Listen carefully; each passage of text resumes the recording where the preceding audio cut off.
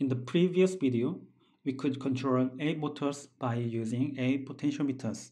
Back then, I thought that the Arduino can control only 6 motors because it has only 6 PWM pins, but I was wrong. The servo library supports up to 12 motors on most Arduino boards and 48 on the Arduino Mega.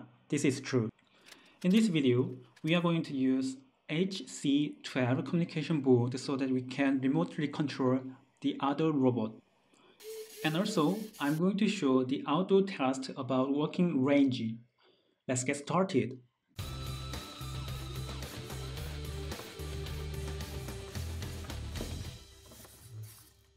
When it comes to remote control project, Bluetooth seems like a standard method even though it is not easy to set up for the beginners. There are so many steps as you can see. In any situation, you have to set up by using AT commands so that they can communicate with one another.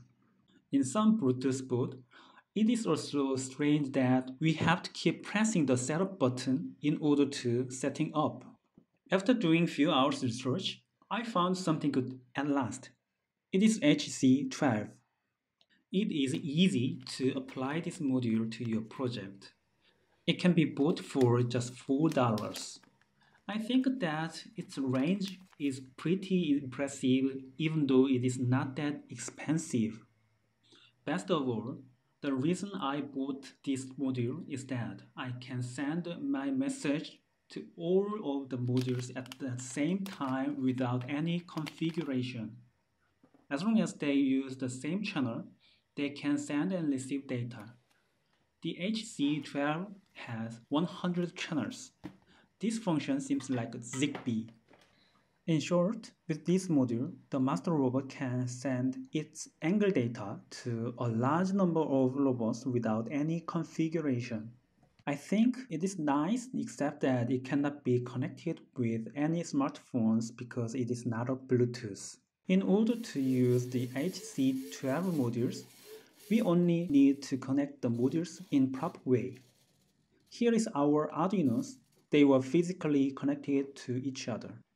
Just cut the middle and connect it to the modules like the schematic. Then the modules will work by themselves. You know what? We don't need to change any code. It sounds wonderful. Let me test it. Hmm, looks so wonderful. I was wondering how far do they can communicate to each other. I made a simplified version which sends and receives data every single second. If they are working well, the servo motor moves. It turned out that the signal reaches around 400 meters in the default setup.